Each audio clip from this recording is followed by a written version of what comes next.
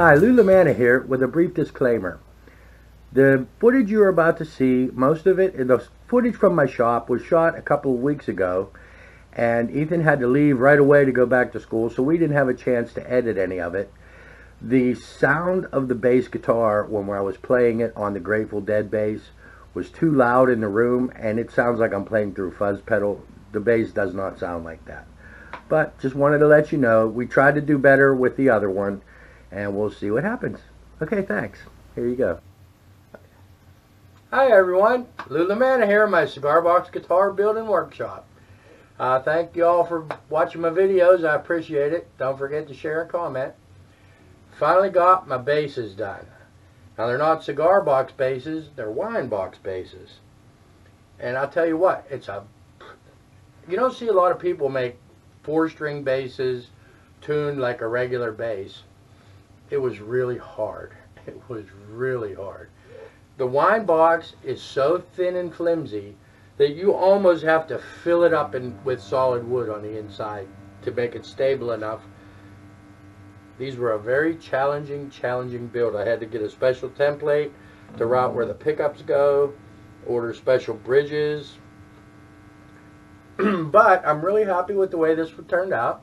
This is for uh, my friend Stash, who's a Grateful Dead fan. And he gave me that sticker for the headstock. I didn't paint it. I got, you know, purple pearly dots. This is uh, this is the first neck I ever made that I tapered.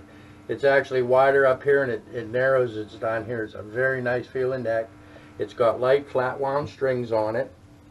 And uh,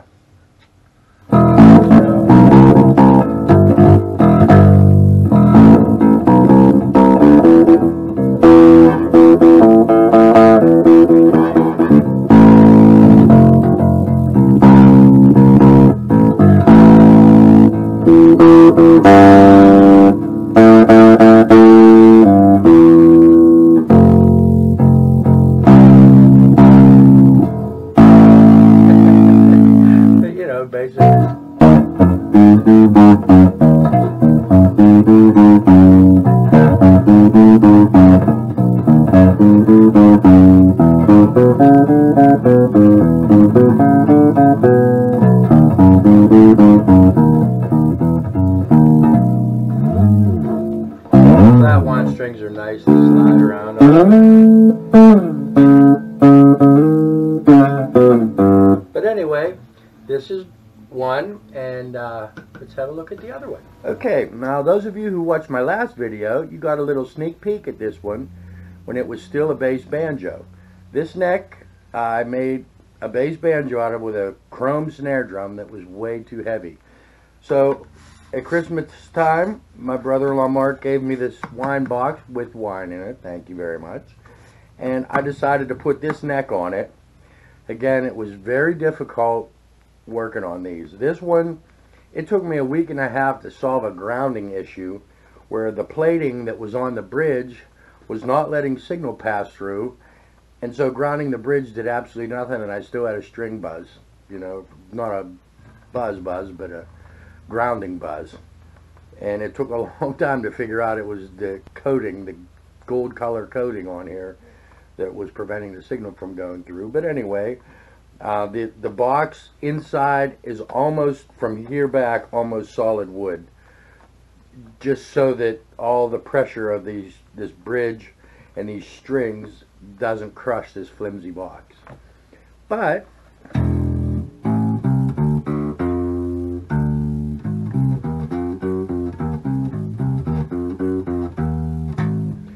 bass.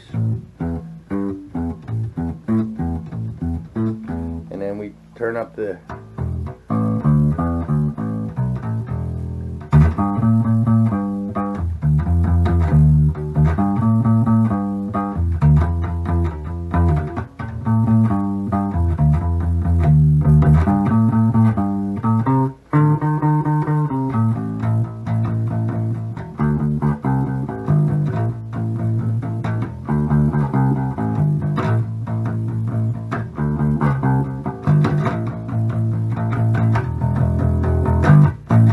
So I'm very happy with this.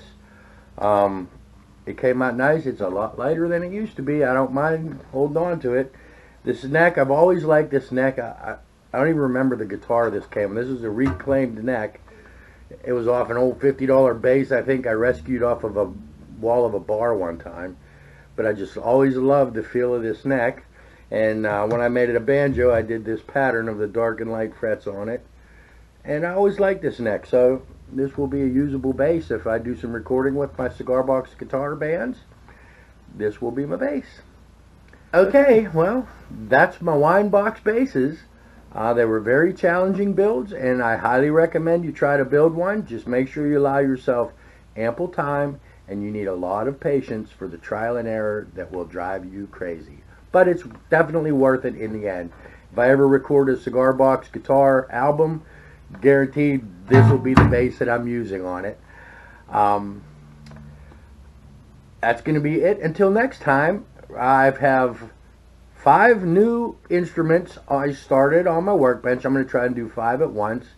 I've got three three strings, a four string, and a long neck ukulele for various people and music stores, and a couple of them for actually for me. I built so many of these, I don't even own a three-string cigar box guitar. It's a sin. I know. So I have to make one for me that's mine to play around with. And uh, hopefully by the time school's out and Ethan comes home, we will have another video and we'll be giving you an update on those five. Maybe they'll be done by then. I'm shooting for it. And until then, I'd like to say thank you to all my usual suspects, Mike Amato, Ben Baker, Shane Speal, Del Puckett, everyone else who makes videos. I love your videos. Um, please like and subscribe and share. Let's get the word out about Cigar Box guitars. They are totally amazing. So until next time, this is Lou LaManna saying goodbye. Bye-bye.